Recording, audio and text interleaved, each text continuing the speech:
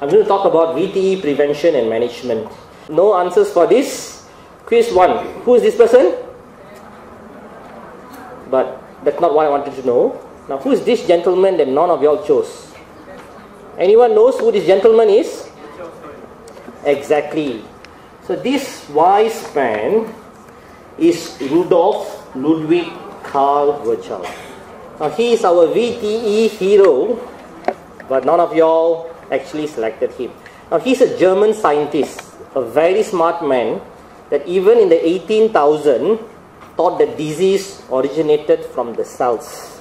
And hence, he came out with the Virchow's triad. Do you know when his birthday? His birthday is coming up soon. Uh, his birthday is on the 13th of October, which is five days' time. So he's such a great man that everywhere throughout the world, on the 13th of October, on his birthday, is being celebrated as World Thrombosis Day. The day I'm born, people forget. So when was the first Malaysian VT training manual published? Anyone know? Anyone? Since 50% use this guideline? Okay, so this was published in 2013. The second one, anyone seen this before? Okay, you have not seen this before. This is what happens to Malaysian guidelines. It is all locked up in a cupboard. So this is published in 2014. But the most recent Malaysian guideline is published January this year. It's already 10 months old. The guideline can already start to crawl. Okay, what's the incidence of VTE in the third trimester? Anyone? How common is VTE in the third trimester? 10%, 20%, 50%? Sorry? Correct. So VTE in the third trimester, the risk is as high as, sorry for unknown reasons my animations are not working. The incidence of VTE in the third trimester is 28%. So if you give only patients postpartum, you will miss one third of them. So antenatally, VTE happens on two occasions. Peak number one in the first trimester when you're having hyperemesis and OHSS. The second peak is 28 weeks onwards. But the risk is highest per day in the postpartum. So think of three things. First 12 weeks, 28 weeks to delivery, and delivery until postpartum. So if you cannot remember me, just remember this chart. The risk is highest in the third trimester near delivery and then it comes down. So interestingly, here is also another study published in the New England Journal of Medicine looking into the risk postpartum. The risk of VTE is highest in the first three weeks and then only it goes down on the fourth week. So if you think you need to give for seven days, it's not enough. What we're giving now is for 10 days. That is still not enough because the risk remains elevated up to 3 weeks. That is why for certain high risk patients, you need to give it for 3 weeks. Okay, for all of us going for exam, what is May-Turner syndrome?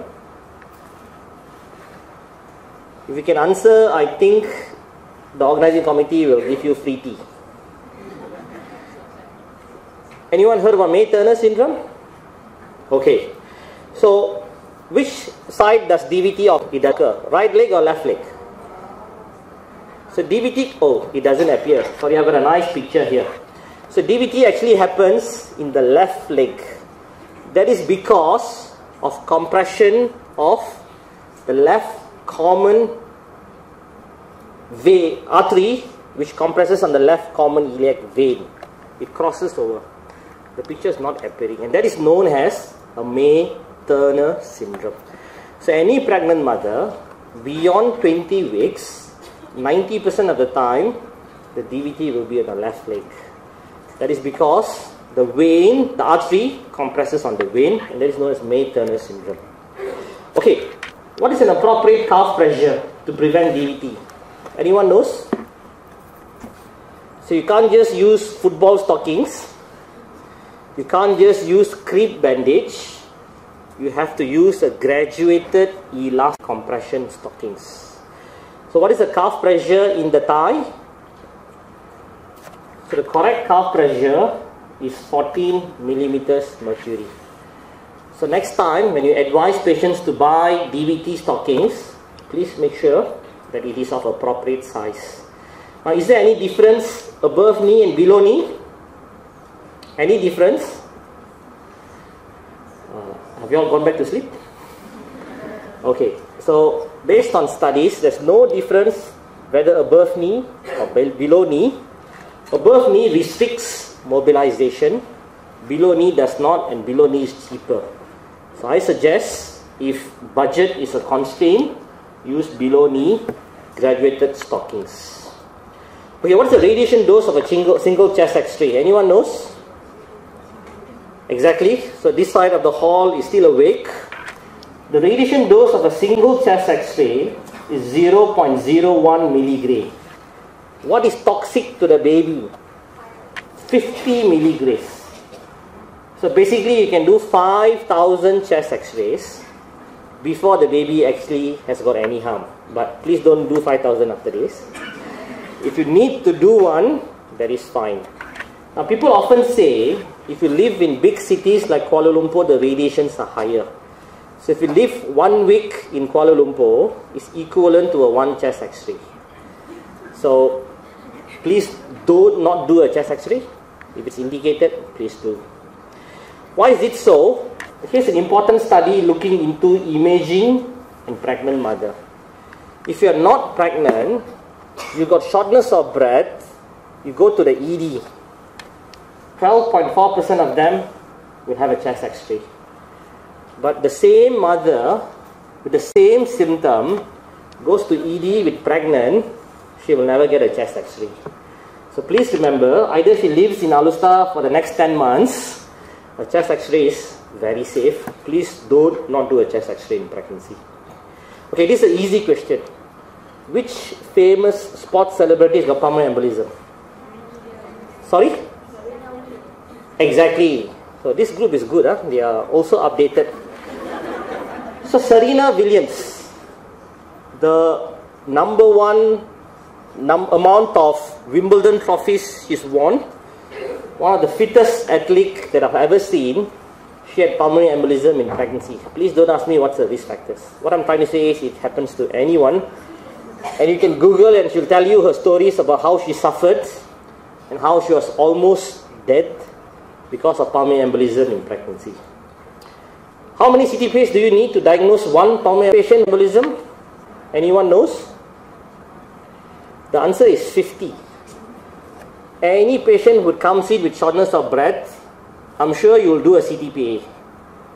You have to radiate 50 patients with symptoms to pick up one pulmonary embolism. That is the fact because we don't have anything better. So what does that prove? It means it is cheaper to prevent than to treat. If a pregnant mother has got pulmonary embolism, she needs to go to ICU, she needs treatment for three months, she needs CTPA, she, her quality of life is gone, she cannot go back to work, she live in fear of dying. But if you're going to prevent, all you do is give her one injection for 10 days, you'll be able to prevent. So with that, I'm going to talk about prevention and why we need a paradigm shift. So why should we prevent? VTE is the number one cause of direct maternal death in Malaysia. Antenatally, most mothers get DVT. Postpartum, most mothers get pulmonary embolism. It is because of the hypercoagulable state. If you get pulmonary embolism, your risk of dying is 1 in 4. 70% will have risk factors. Prevention is easy, treatment is expensive, as 1 in 2 patients will have recurrent DVT. Can we use these tools? Cannot use a scoring system. Please don't use a Wells score. It is validated in a non-pregnant mother, but it has never been validated in pregnancy. So there's no scoring system. Interestingly, people did this DiPEP trial. What they did, they looked into clinical symptoms, they looked into quantitative D dimers, they looked into ABGs and clinical signs, and see whether they can predict pulmonary embolism. But unfortunately, even that study showed we cannot predict. So up to now, what do we have? CTPA. But here's a study which is done in US by Clark. US also has got a very high maternal mortality rate. So the trends in US is the same. They looked into PPH, they looked into hypertensive diseases, medical disorders, and VTE. And they implemented a program and they see which worked the best. Which you think is the easiest to prevent? VTE is the easiest to prevent. It doesn't appear. Is it easy to manage PPH? It is not easy. It's too complex. It depends on the speed. It depends on the consultant. Can you do internal iliac embolization, internal iliac occlusion? It is too difficult. Is it easy to prevent hypertensive diseases? Not easy. The lecture this morning was complex. But is it easy to prevent VTE? Yes. All you need to do is tick yes, no, yes, no, yes, no. Score. High risk give, low risk don't give. You can actually prevent a mother from dying. So Clark proves that one of the easiest diseases and mortality to prevent among pregnant mothers is VTE.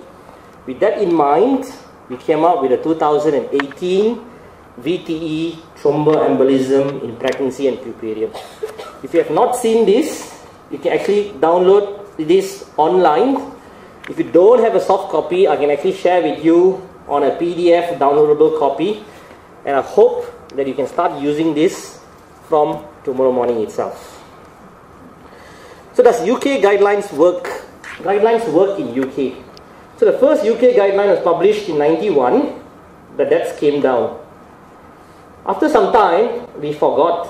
The death rate went up. The second guideline came out in 2003. The death rates went down. The UK had a third guideline and a fourth guideline. The last guideline that came out in the UK is 2015. And after every guideline, there's a reduction in the death. Did the same thing happened in Malaysia? This is what happens in Malaysia. So we had our first guideline in 2013 that 40% of y'all said y'all saw. But after the guideline, instead of the debt coming down, the debt rates went up. Then quickly in 2014, we had another training manual. Uh, but despite this manual, the incidents went up. And here we have another guideline. I've got no more space already. So why doesn't guidelines work in Malaysia? That's because we are not aware of such guidelines. We don't practice. Guidelines are kept locked up in some cabinet somewhere. So please remember, if the guidelines work in UK, it should work in Malaysia. So I can tell you why guidelines don't work. Number one, we think it doesn't work. We don't believe in it. Number two, we always think it is too expensive. But let me ask you one question. What is the value of the life of a mother who died? Is that equivalent to one injection? You tell me. Sometimes we don't like to follow rules. If someone says, please do this, we will question ourselves, why do we have to do this? But over and over time, we do know that VTE prevention works. The easiest thing to do is to be ignorant. But that doesn't solve the problem. And this is what an ostrich does. But sometimes our priority is different. As an obstetrician, my main priority is always my mother's life. Second is fetus. So this is why I believe prevention doesn't work. But I hope next year I'll be able to show you a graph which goes downwards. Is it going to get any better in Malaysia? Malaysia, we are already the most obese country in Southeast Asia. We're number one. Patients are getting more complex. The oldest patient that I managed last year was 58 years old, menopausal. The world's first IVF baby is already 40 years old. Malaysia's first IVF baby is already 31 years old. After Louise Brown, million other babies were born.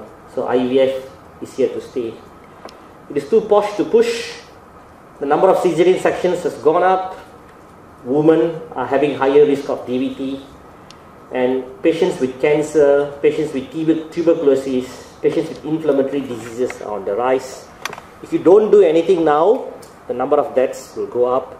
Something has to be done now. So what do I suggest? in US and in UK, it is a national program to prevent VTE. If you're admitted to the hospital, you don't get thromboprophylaxis, you get a DVT, the hospital is liable. I think we need public health declaration. We need risk predictive tools. I personally believe that a VTE should be the sixth vital sign. That means when you do rounds, the blood pressure, the pulse rate, the temperature, the respiratory rate, the pain score, and the VTE score should be there. Because I believe it is extremely important. I think we've been trying to train doctors for almost about four or five years, and the number of deaths keep going up. There's only one person who actually follow guidelines, those are the nurses. So I believe each ward should have a VTE champion. So in my HDW that I do rounds, there's actually two nurses who are trained, and I stopped doing the VTE score because they do it far better than the doctor. So I believe this is the way forward. Each ward, each hospital, each unit should have a VTE champion. I think we should monitor ourselves and know which hospital has got VTE, which hospital has got pulmonary embolism, and what's the rates. We need evidence-based approach, and we need to empower our patients with regards to VTE. So please remember, almost 70% with VTE have got risk factors. But this is one of the main reasons why we had to rewrite a new guideline. Now these are patients comparing three guidelines following cesarean sections who need thromboprophylaxis. If you follow the American guideline, only 1% of patients need this. But if you follow the RCOG guidelines, 85% of the patients need thromboprophylaxis. But in Malaysia, this is too expensive. You will not be able to sustain. So what we wanted, we wanted a guideline that is somewhere in the middle, that is moderate. So the Malaysian guideline is entirely different from the RCOG guideline. How is it different? We have only included risk factors with an odds ratio of more than 3. So if your risk of having VTE, the odds ratio is less than 3, it is not included. For example, age. If your age is above 40, your risk of VTE is twofold. We have removed age. For example, parity. If you are grand multipara, your risk of VTE is only increased 1.7. We have removed parity. And so, that is the new Malaysian guidelines for you. Anything with the odds ratio of above 3 is in BM incorporated. Example, caesarean section. So these are the risk factors which are included. Previous thromboembolism, high risk thrombophilia, medical diseases, BMI, smoker, caesarean section. Now the RCOG guidelines says elective Caesar means 1, emergency Caesar means 2. But in Malaysia, our elective Caesars are done differently. In UK, you are not fasted, you get admitted at 8 o'clock, you have your cesarean section and you go back home the next day. Our patients are admitted the day before, they are fasted for longer duration, and sometimes elective Caesars only done at 5 6 o'clock in the afternoon. So any cesarean section is 2. And we have removed age, we have removed parity, we have removed preterm deliveries. And we have only incorporated anything with the odds rate more than 3. So we believe this is more cost effective. We hope this works. And I'm sure we'll be able to bring down the deaths from venous thromboembolism in Malaysia. So how to score? Please use a numerical score. 1, 2, 3, 4. You need to score all of them 4 times. Pre-pregnancy is ideal or early pregnancy at booking, each admission and post delivery. So don't use low risk, moderate risk, high risk, it's very confusing. Use score 1, 2, 3, 4. And if the patient scores 4, start thromboprophylaxis and continue 6 weeks postpartum. Now this is prevention. Huh? The patient has got treatment, then you need to give treatment for 3 months. Score 3, start at 28 weeks. Why start at 28 weeks? Because the risk is increased as high as 28%. Score 2, 10 days postpartum, no one scored 0. Everyone minimum score is 1. So with that, I hope you can use this guideline. It is available in a hard copy and soft copy and I hope after today you can start using these guidelines. I'm going to quickly talk about management of VTE in the next 5 minutes. It is not possible to talk about management of VTE, but I'm just going to highlight a few pearls. Let me share a true patient that I saw two weeks ago. And this lady is still in the HDW as we speak. She's 38 years old, gravida for para 3, 36 weeks. She's got benign intracranial hypertension, poorly controlled bronchial asthma, BMI of 35, GDM on metformin, chronic hypertension not on treatment, and she's got hypothyroidism. She was followed up in a previous, in another hospital, but because of these problems, she transferred her care uh, to HKL. She's got previous admissions for shortness of breath and treated as acute exacerbation of bronchial asthma. She had an echo in July, which is normal, and someone actually did a CTPA in July because she was breathless at that time and it was normal. So she now comes to the clinic very, very, very breathless and she gave a history of sudden onset of breathless for one week. So sudden in onset, no chest pain, no palpitations, no calf swelling, no signs of infection, but she needed five pillows to sleep. Her lungs were clear. I could not appreciate any murmur. There's no pallor, no pedal edema. That's the pulse rate and that's the respiratory rate. So management, anyone? Can anyone advise? Okay, so someone wants to start treatment. Anything else? Sorry? Sorry? Chest x-ray? ECG, perfect, well done. Okay, so I tell you what I did. Uh, we set off a hemoglobin count. Uh, I won't tell you what I did. I, will tell you what happened to the patient. HB was 8.7. EBG showed a PCO2 of 40. And the ECG shows sinus tachycardia. But when I saw her in the clinic, I already started her on prophylactic, uh, sorry, I started her on treatment dose of Clexane. So the medical came and reviewed since she had a normal echo, since she had a previous CTPA, they did not want to radiate her once again. And they thought it is hyperventilation secondary to pregnancy. Someone thought that the hemoglobin count was low and she's breathless because of anemia and they wanted to transfuse her. But we were not happy with the management plan and so I insisted that we do a CTPA the same night, the CTPA came back positive. So please remember, the first thing you need to rule out when a mother is unwell in pregnancy is CTPA.